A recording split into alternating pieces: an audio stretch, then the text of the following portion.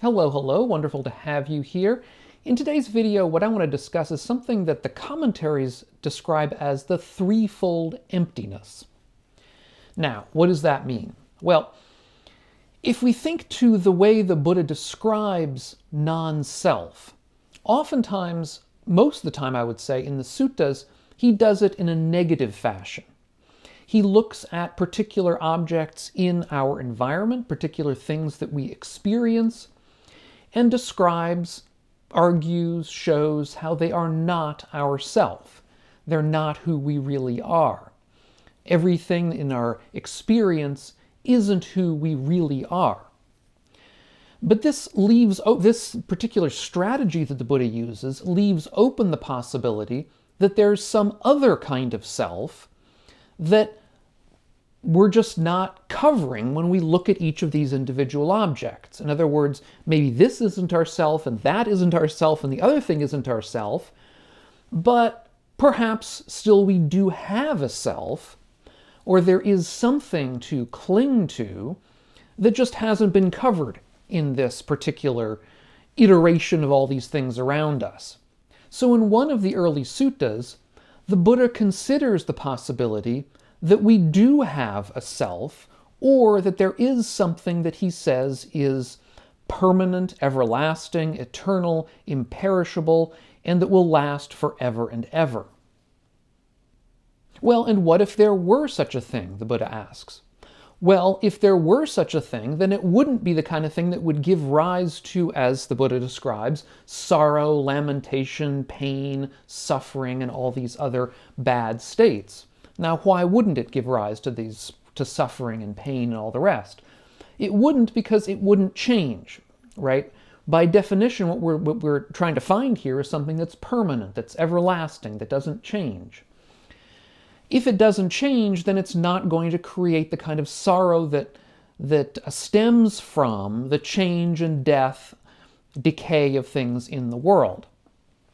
Now, search for this kind of permanent everlasting something is one of the main goals of many religious and other philosophical kinds of endeavors. In particular, in the Buddha's day, it was the goal of the Upanishadic seers and thinkers. These were uh, uh, Brahmins generally, people out of the Vedic Brahminic tradition, who had retreated into the forest and basically spent their time in meditation, by doing philosophy, trying to figure out that permanent thing, that permanent essence that they could cling to, that they could hold to, and that would be liberative, that would liberate them from the, the troubles, the trials, and tribulations of ordinary life.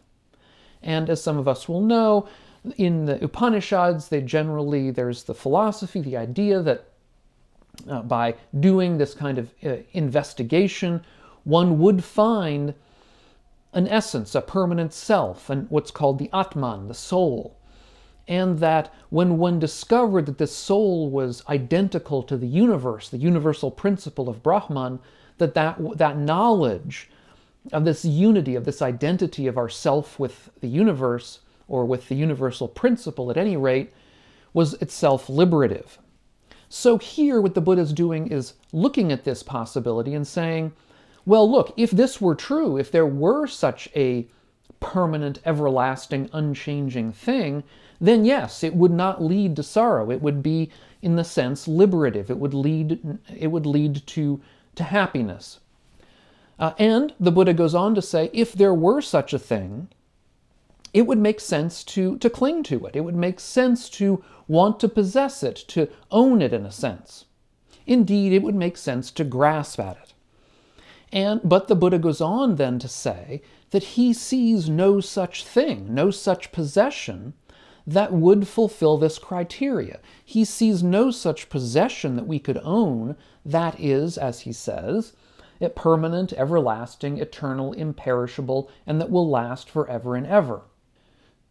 And the commentary terms this the first emptiness.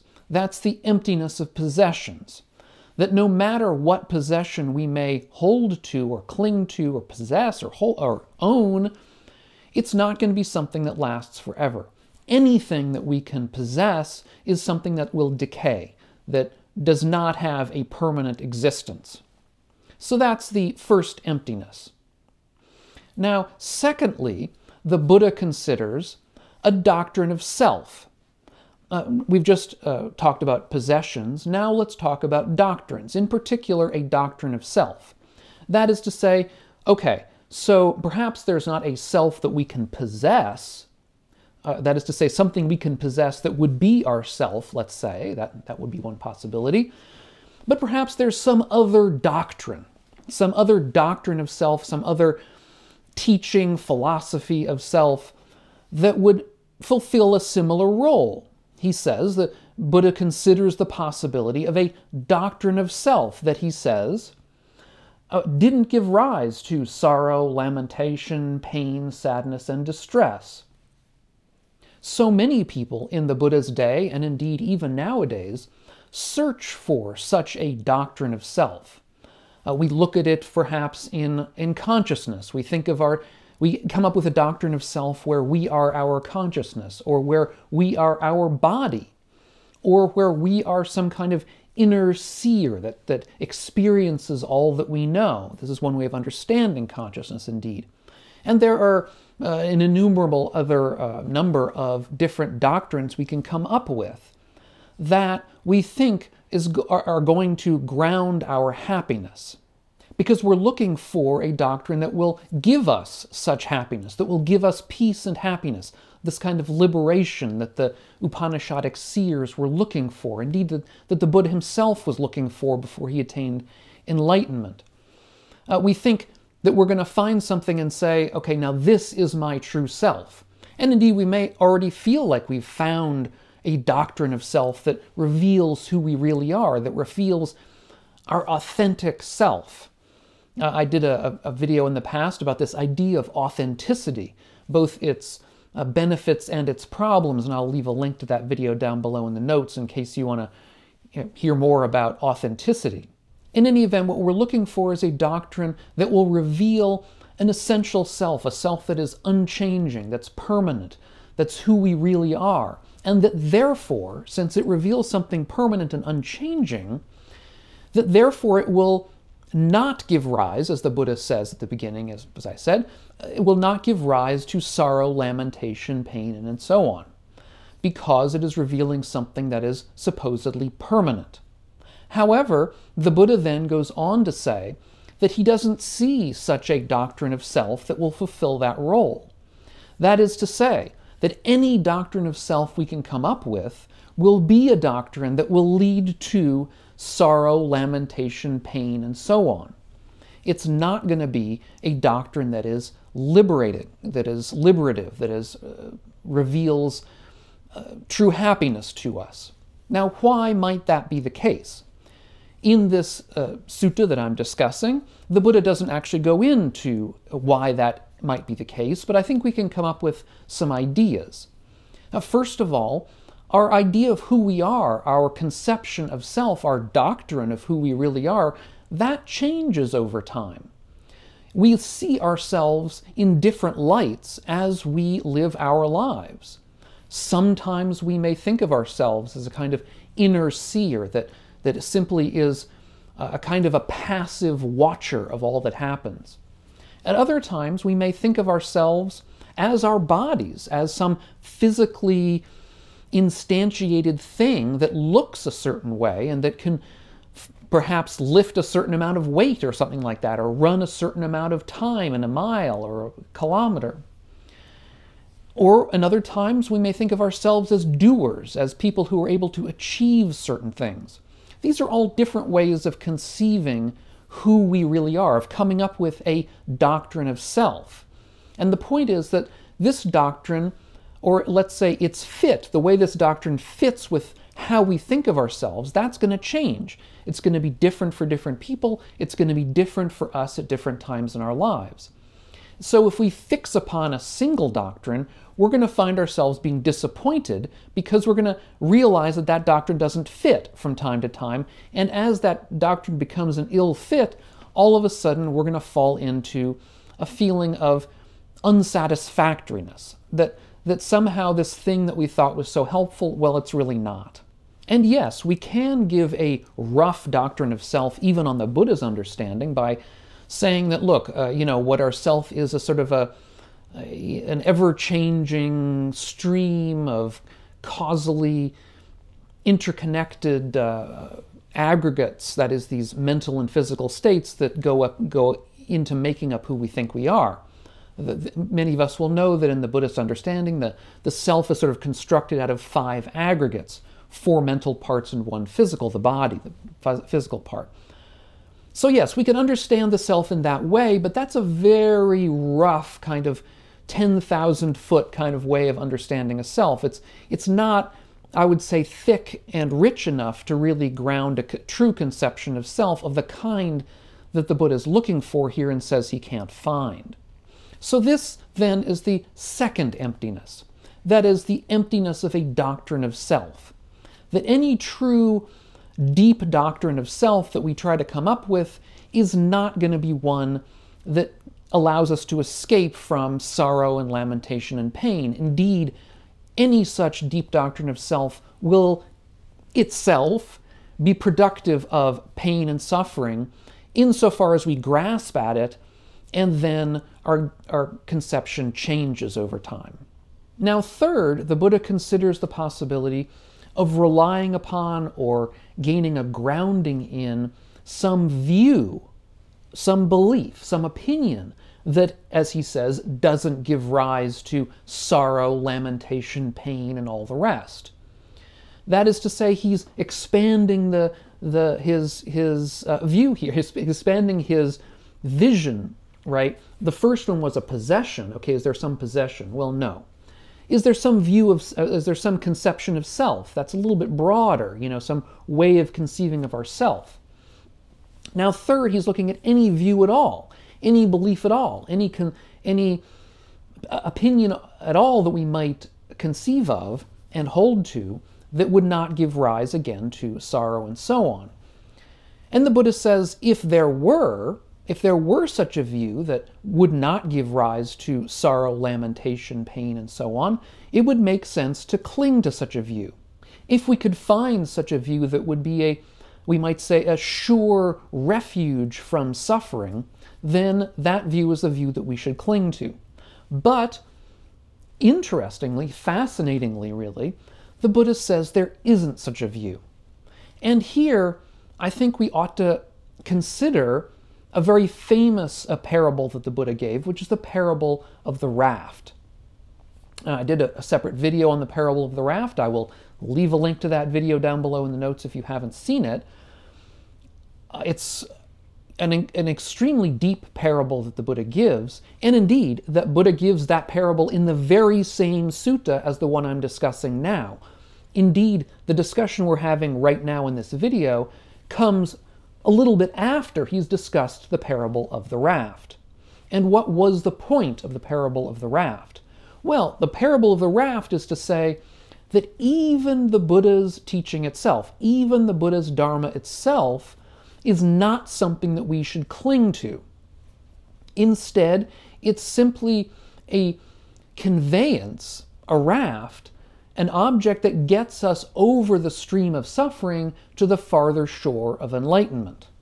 Now, of course, while we're in the middle of the stream, we're going to need to cling to that raft to an extent because we're not enlightened yet.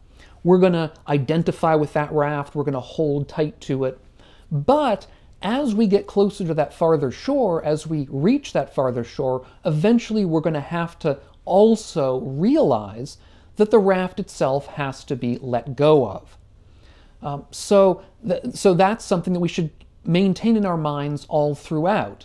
That yes, we do want to hold to the Buddhist Dharma in a sense. We want to practice it. We want we, we will almost inevitably tend to identify ourselves with it. But that has to be thought of as temporary and indeed not to our best interests in the longer term. In the longer term, there's nothing there's no view that we really should cling to. The Buddha goes farther in that very same sutta and discusses just the ways in which his own Dharma can lead to sorrow, lamentation, pain, and so on. Now, we've just said, the Buddha just said, okay, there's no view that won't lead to sorrow, lamentation, and pain. Well, what about the Buddha's Dharma itself? Yes, it too can lead to sorrow, lamentation, pain, and suffering. How so? Well, the very sutta in which we're discussing this also has a second very famous simile called the simile of the snake or the water snake. Indeed, that gives the name of the sutta. The sutta is known as the water snake sutta.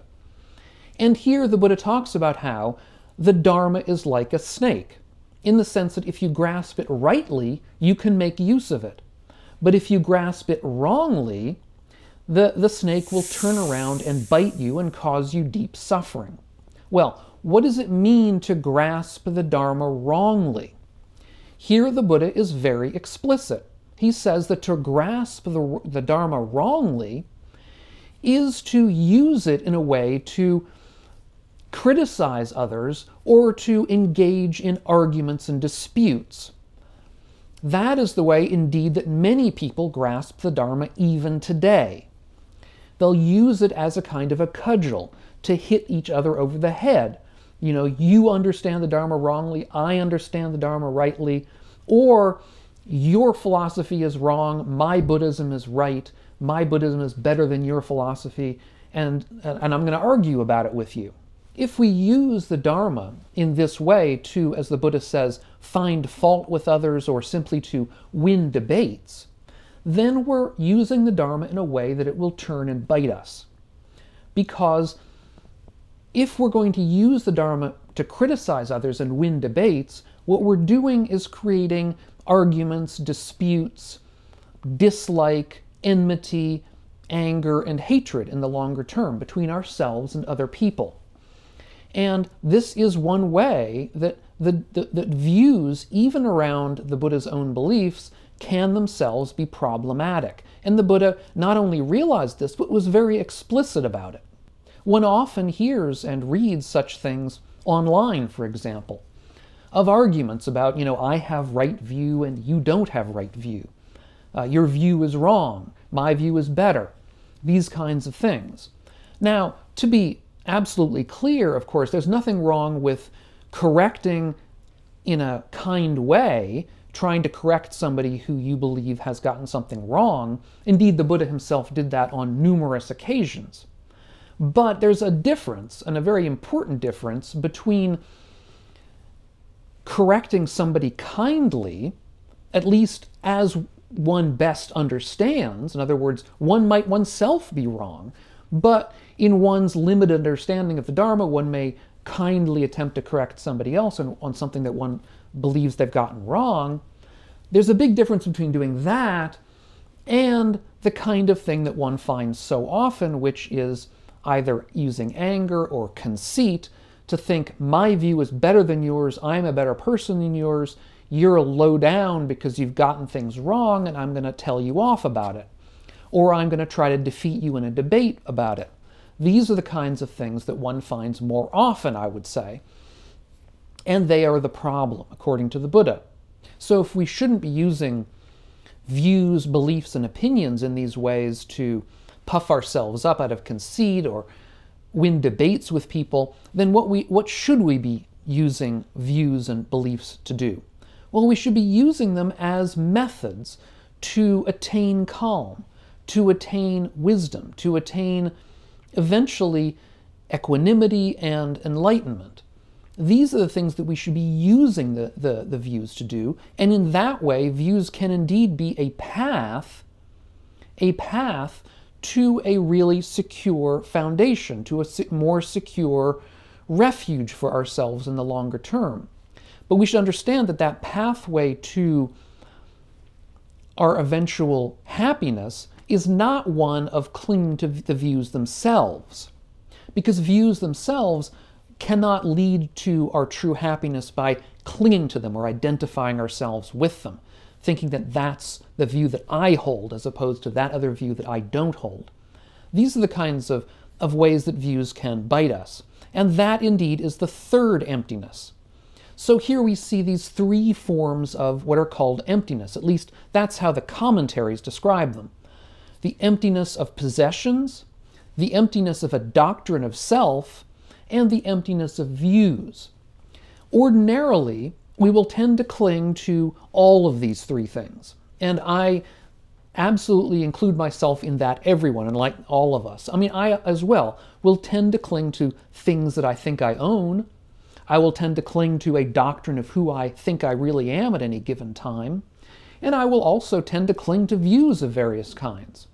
But the important thing is to try to gain a practice and continue a practice of seeing through these three forms of emptiness, of understanding them as empty, as empty of a self, as empty of anything that's worth actually clinging to.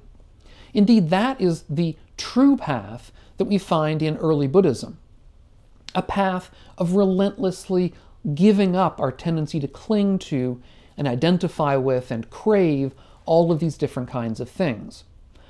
And uh, I did actually an er- earlier videos on this very topic of non-clinging, of non-identification. I have a playlist, and I'll leave a link to that playlist up here on the screen in case you haven't seen some of these other videos, which I recommend. If you're getting something out of these videos of mine, do consider taking a look at my Patreon page, which is linked down below, and seeing if you want to help support the work that we're all doing here. Thanks so much to all of you, and we'll catch you on the next video. And meanwhile, all of you, be well.